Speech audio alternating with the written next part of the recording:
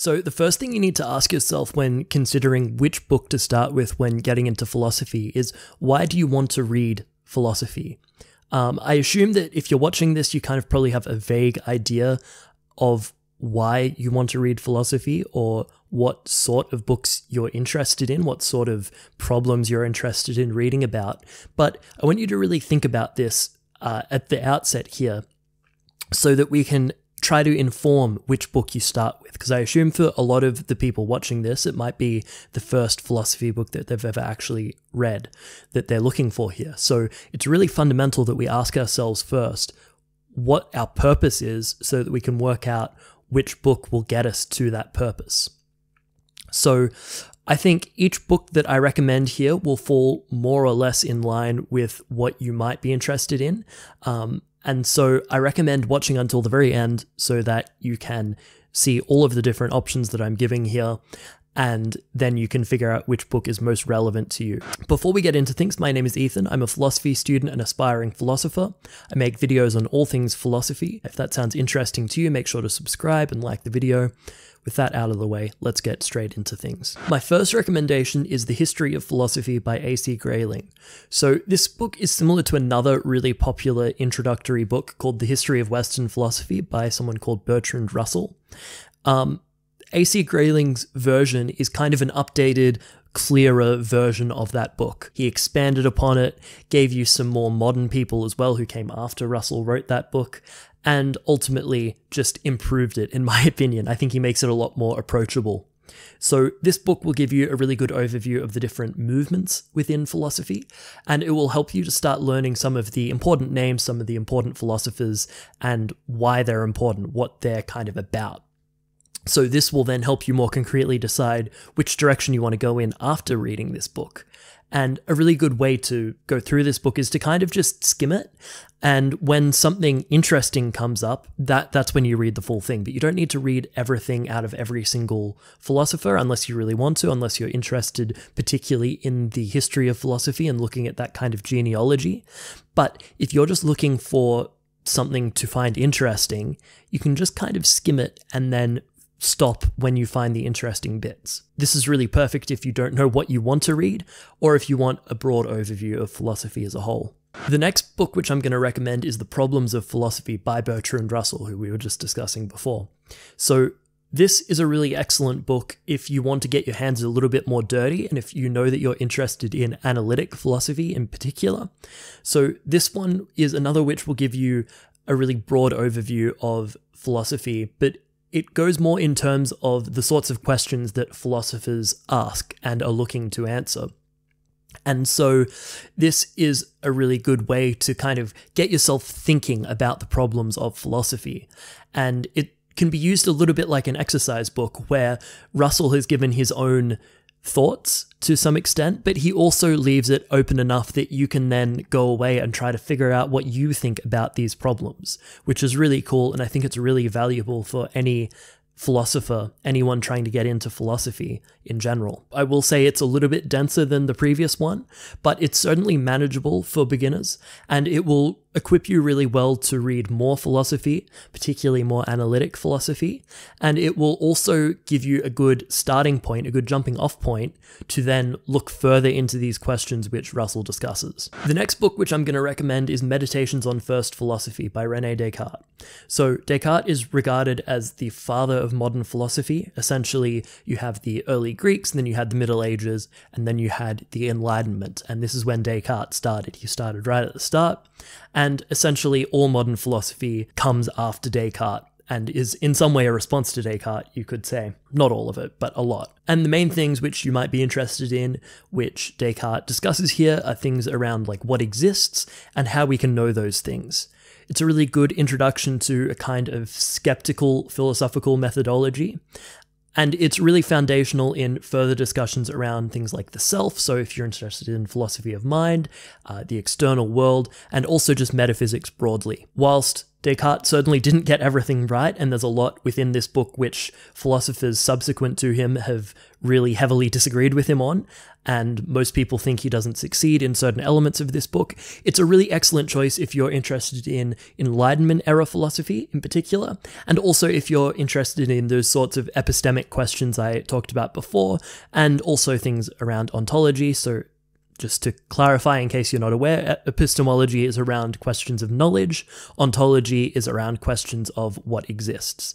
So both of these things are addressed by Descartes here, and it's a really good starting point to start thinking about those sorts of questions. The fourth book I'm going to recommend is Practical Ethics by Peter Singer. If you're interested in ethical questions, then this is a really good starting point. Essentially, it's written in a really approachable way, and it contains discussions of a lot of problems which we talk about in our day to day lives around ethics.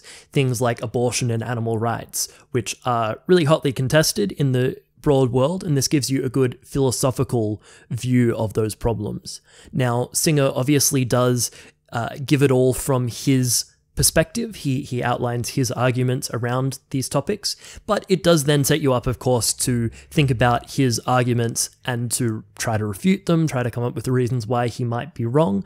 And he also lays out some of the key ideas around things like meta ethics, so why we should think about ethics in a particular way, what a good ethical theory might look like. And he also introduces some of the key ethical theories of the modern age. He talks about deontology, he talks a little bit about uh, relativism and why he thinks it doesn't work. And it's a really interesting and approachable book if you want to get started in discussing ethics from a philosophical perspective. The fifth book that I'm going to recommend is The Apology by Plato. So, this is a really great start if you're interested in Greek philosophy and you want to learn the classics. This is a dialogue about the trial of Socrates, and it captures the style of thought which was common in that era. It goes through the sorts of ways that they talked about problems, and it is a really great way to get yourself immersed in that world that Plato was living in. So if you want to th- read things like The Republic, this is a really good starting point because it gives you a good foundation for reading his dialogues and reading that style of philosophy. And it also gives you a nice basis to then go and read philosophers like, say, Aristotle.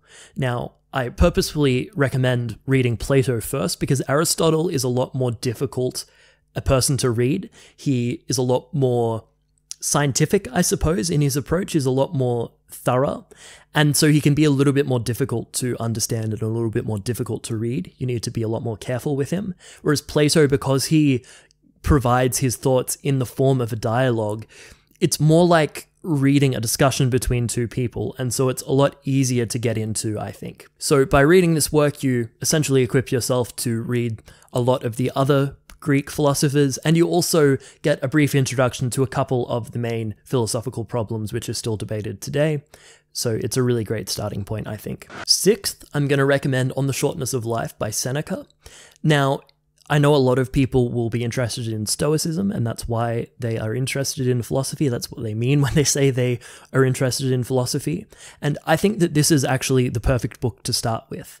A lot of people might recommend uh, starting with Marcus Aurelius. And I think that that's a fine recommendation, but Seneca's a better philosopher.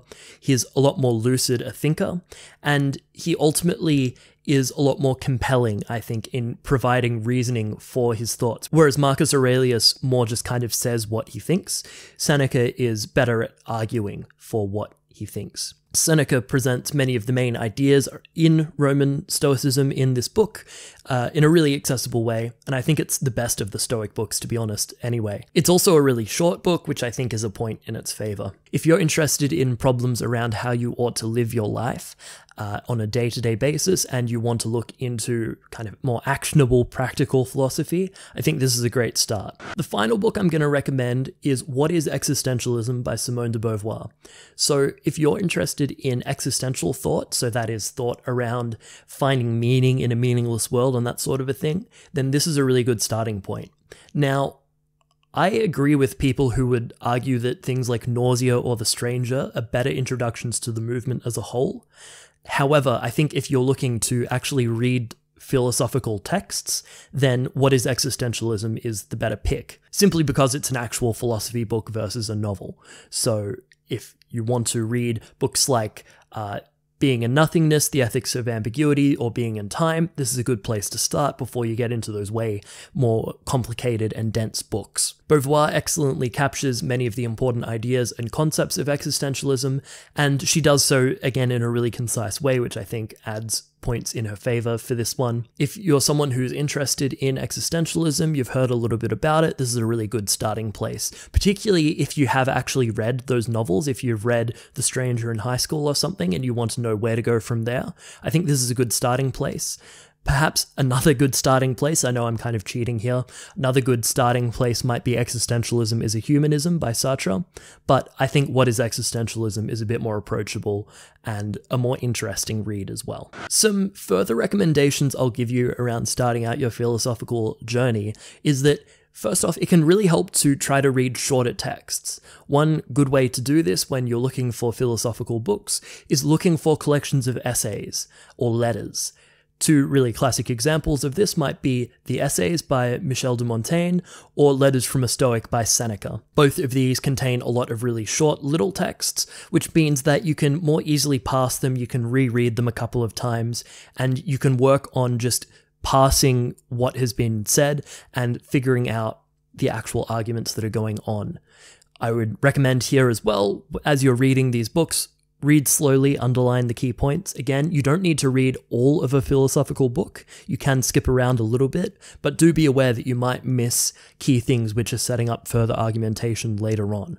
So just be aware of that. But for things like the history of philosophy by Grayling, you can skip around a little bit more. It, it depends a little bit on the text, of course, but with a lot of philosophical books, you can just skip to the area that you care about just so long as you also are aware that there might be things that are set up justifying some of the points that are made within that section. Following on from this, I would say don't be afraid to look for help in understanding some of these books because they are quite complicated often. ChatGPT is a great tool here. You can use it to help summarize chapters, you can use it to help understand what different words mean, and you can also look for online chapter summaries that can be really helpful. I would say as well, as you do this, as you read through these books, it can be really helpful to write summaries of what you've been reading, so write chapter summaries.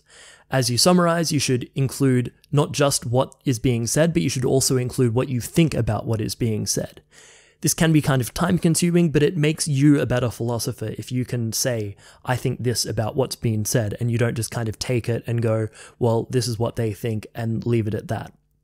That's not being a philosopher. Being a philosopher means you have to respond to what other philosophers have said. So the earlier you can start doing that, even if you do a bad job of it, it's still getting you into that philosophical mindset, which I think is really helpful. A habit which is super useful around this is while you're reading, try to figure out what are they trying to convince you of and what reasons are they giving for convincing you of this. So this essentially in philosophical terms is you're looking for the conclusion that they're trying to provide, and then you're looking for the premises which lead to that conclusion. And by writing this out and by working this out, you set yourself up to be able to dissect arguments in a lot better a way, in a lot more systematic a way. Um, and ultimately, it means that you can be better at analyzing what's being said, can really help your understanding as well. And it can help you identify what assumptions are being had and that sort of a thing, which is really crucial in philosophy. Thank you very much for watching. Click on this video here to watch more philosophical content. Catch you in the next one. Peace.